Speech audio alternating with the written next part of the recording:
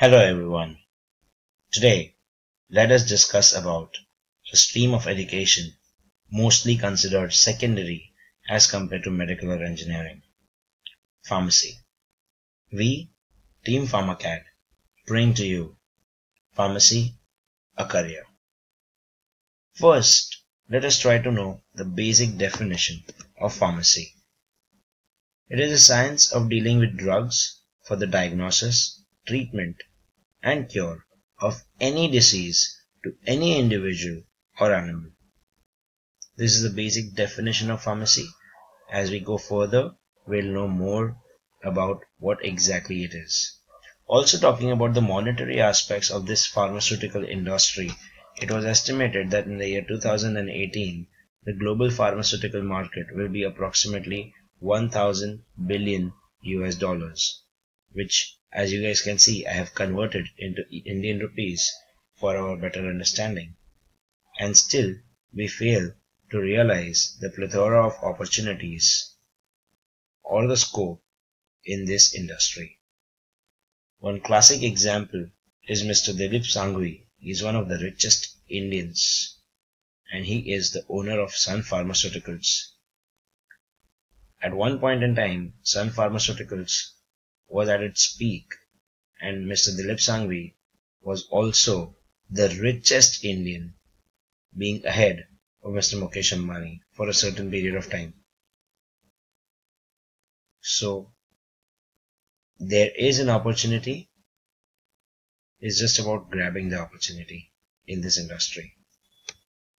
Talking about the major subjects of pharmacy, let us see this is the basic flow of the entire course. The major subjects are pharmacognosy and pharmaceutical chemistry. Pharmacognosy deals with extraction of drugs from naturally occurring substances, and pharmaceutical chemistry talks about synthesizing the medicine in the laboratory. Once the drug has been extracted or has been synthesized, it is taken up by the subject called pharmacology for checking its action on the desired tissues or the target organs. Under clinical research or clinical trials. Once the drug is giving us the desired action, pharmaceutics decides the route of administration into the human body or the animal body, whichever is best suited. Pharmaceutical analysis then validates all the dosage forms that have been prepared just to ensure that it is of no harm to the consumer. And Drug Regulatory Affairs takes care of all the documentation right from its extraction or synthesis in the laboratory to the analytical techniques. So, if we wish to pursue pharmacy after our 12th grade, we have three options. One is Diploma in Pharmacy, it's a two year course. Then we have a pharma doctorate, which is a six year course, and we have bachelor's in pharmacy, which is a four year course. Let us study each one in detail. Diploma in Pharmacy. It's a two year course. The admission is by your HSC percentage. It gives you a brief overview of all subjects. Uh, the job prospects after diploma would be sales or, or a medical store or a hospital pharmacist or also into patient counseling. Higher studies possible after diploma in pharmacy would be bachelor's of pharmacy and the student would get a direct entry in the second year of B.Pharm. Talking about pharma doctorate, it is one of the new upcoming courses in the country. Already very popular in the southern part of the country but not very much in Maharashtra or nearby. It's a six year course after HSC. The admission is by HSC percentage. It is more focused on clinical pharmacy and also on patient counseling. So mostly it is generally associated with a nearby or an in-house hospital where the students get a practical approach towards whatever they study in the college as well. The job prospects majorly are hospital patient counseling, sometimes even medical writing and pharmacovigilance. Now let us talk about the most popular course in pharmacy that is the Bachelor of Pharmacy. It's more preferred compared to D.Pharm or a PharmD. It's a four-year course after HSC. The admission is by CET scores. The ideal score to get into one of the best colleges would be 160 plus out of 200. Anything between 130 to 160 would be good enough, and anything between 100 to 130 would be basic average score to get into a college in Mumbai. All the major subjects are covered in length or in depth as already discussed. Talking about some top colleges for B Pharmacy in Mumbai. These are the three government colleges we have here. Bombay College of Pharmacy in Kalina, Santa Cruz. KM Kundnani College of Pharmacy at Colaba. And uh, College of Pharmacy at Santa Cruz, which is under SNDT University, which is only for girls and the other private uh, there are autonomous colleges as well institute of chemical technology matunga and svkm's uh, nmims that is Narsee Monjee institute at Vileparle. talking about the private university private colleges under the mumbai university we have vivekanand college at chembur bhanuben nanavati college at Vileparle, met at bandra bharati vidyapeeth at belapur Saraswati Vidya Bhavan at Dombivali, St. John's at Palghar, Oriental at Sanpada, Gahlot Institute at Koparkhairane, Vashi, Sterling at Seawoods, Viva College at Virar. These are some of the other colleges in Mumbai. HK College at Jogeshwari, LH Hiranandani at Ulhasnagar, Konkan Gyanpith at Karjat, Vispute College at Panvel, SS Jondhle at Shahpur, Kalsekar College at Panvel again, and Ideal College is at Asangaon. These are some of the colleges that majority of the students venture into and there are a few more which I have not mentioned on this list. After this we have the approximate intake and the fee structure. Most colleges have an intake of 60 students in the first year of B Pharmacy. SNDT and ICT have an intake of 30 seats. For government colleges, the fee structure is approximately 20 to 25,000 rupees per year. For private institutes, it is an average of around 1 to 1.5 lakhs per year.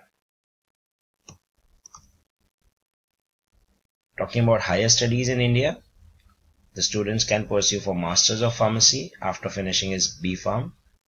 Masters of Pharmacy is for two years. The major subjects in M Pharm would be pharmacology, pharmaceutics, pharmaceutical chemistry, analysis, cognosy, QA/QC, and regulatory affairs. The criteria to get into an M.Pharm course would be the student should be a B.Pharm graduate and possibly GPAT qualified. GPAT is an entrance exam. We will talk about GPAT at the end of this session. Higher studies in India, further, the student can also pursue MS, that is Masters of Science, from institutes like NIPER and BITS. NIPER is National Institute of Pharmaceutical Education and Research, one of the premier institutes for pharmacy in India. Criteria, there are separate ex entrance exams for each of these institutes. And further, if the student wishes to pursue PharmD, he can do PharmD even after doing your B but that would be a three-year course after the bachelor's. If the students have more inclination towards management and less inclination towards the technical aspect of pharmacy, then there are options of MBA, which is a two-year course again. There is core MBA in which we have marketing, finance and human resources. The only drawback or limitation for taking up core MBA is that the student may not end up working for a pharmaceutical company.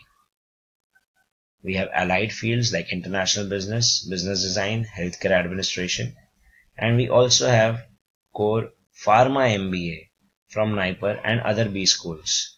Now with pharma MBA, be rest assured that the student will end up working for a pharmaceutical company.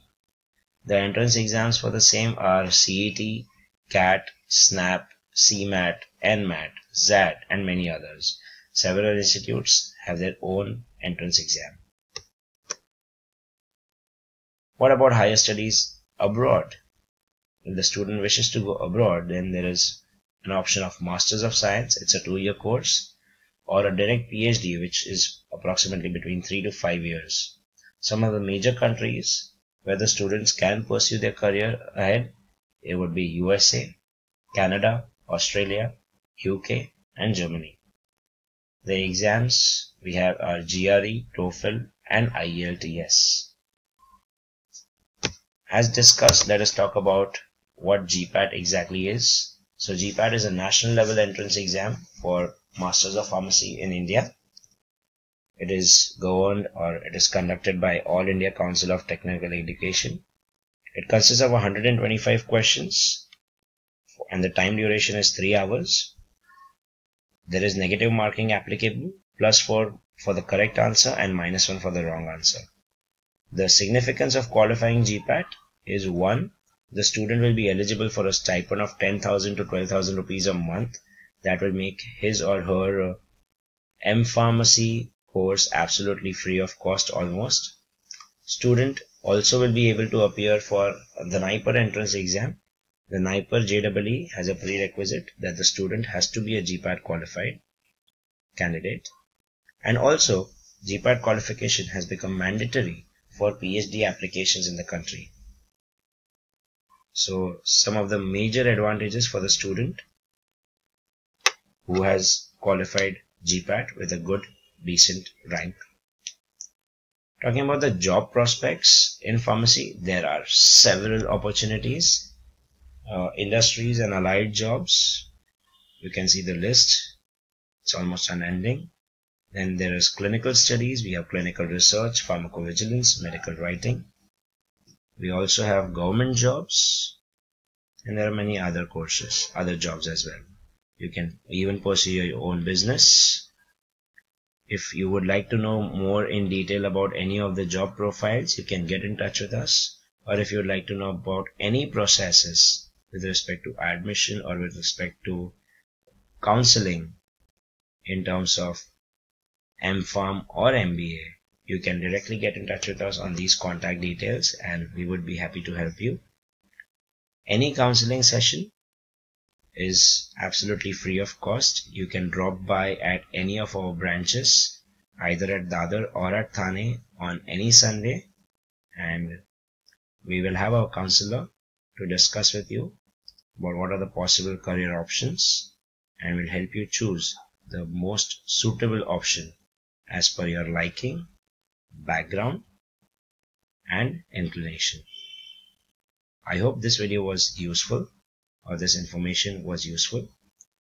Do let us know if there are any suggestions or feedback. Thank you so much.